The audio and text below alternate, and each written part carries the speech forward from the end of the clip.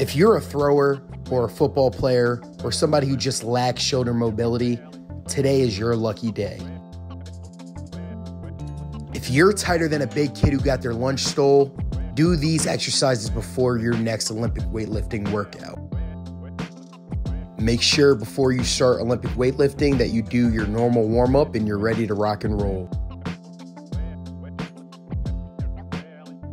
First stretch we're gonna do is called a prayer stretch. So you wanna grab a box or a broom or some type of stick. You wanna get on your knees and then you want to put your elbows on the box.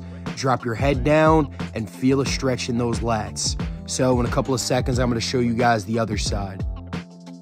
Now with the other angle, you'll see how the box is a little bit higher and you're just pushing those elbows up and you'll feel a stretch right in those lats. Second exercise is called a dowel rod shoulder stretch. So you wanna grab a stick, make sure you put it on your back and then grab it like this and you'll feel the stretch right in those lats, opening it up your chest.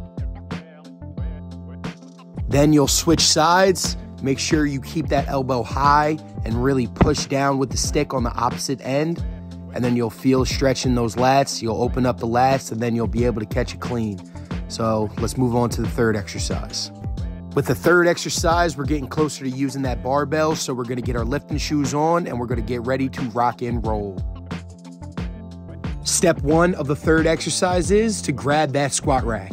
And then after, we're gonna grab a barbell and put it right on top. Next step, I want you to grab you some Olympic weightlifting straps and then wrap them around the bar, but not too tight, loose enough for you to get your elbows through, but really feel a stretch. Hold a couple of seconds, do a couple of squats, really push those elbows up and feel the stretch. It's time to put some weight on the bar and do the same exact movement. For the tighter guys, this will allow you to hit positions and really feel the stretch in that upper body.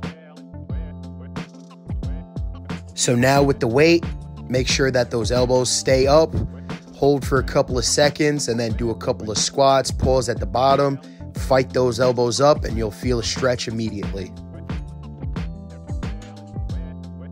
Now, now it's time to start cleaning. So start light, really feel the movement, and voila, you're able to catch it clean. When working up to your working sets, you can continue to do the stretches to really feel loose and be able to hit the correct motions.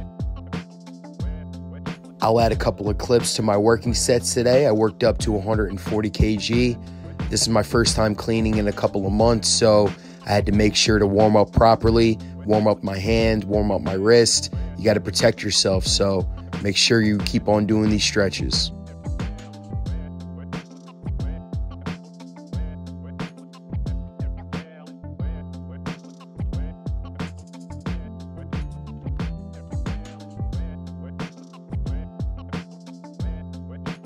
If this video helped you, make sure to hit that like button, comment, ring the notification bell, send it to a friend to help them out, and I'll see you guys next Friday. See you.